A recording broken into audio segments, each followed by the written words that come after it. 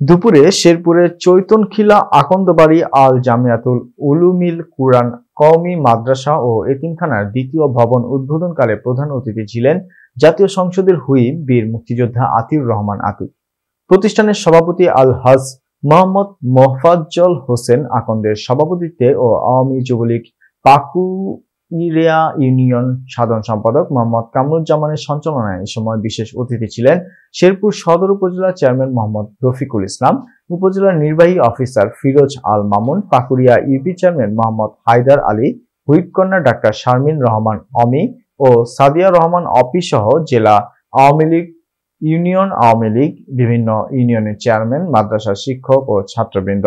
এ সময় তিনি মাদ্রাসার উন্নয়নের জন্য দুই লক্ষ টাকা ও শিক্ষার্থীদের কম্বল প্রদানের ঘোষণা দেন।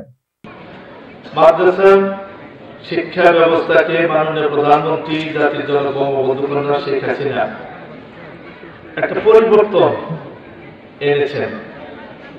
মাননীয় প্রধানমন্ত্রী এই কৌম শিক্ষার মাদ্রাসার সর্বশেষ অধ্যায়টাকে মাস্টার ডিগ্রি সমমর্যাদা দিয়েছেন।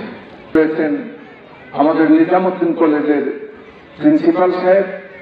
উপস্থিত আছেন পরবর্তী হিসেবে আমাদের শিল্পের গণমানুষের নেতা আমাদের সকলের অভিভাবক। I I want to uh,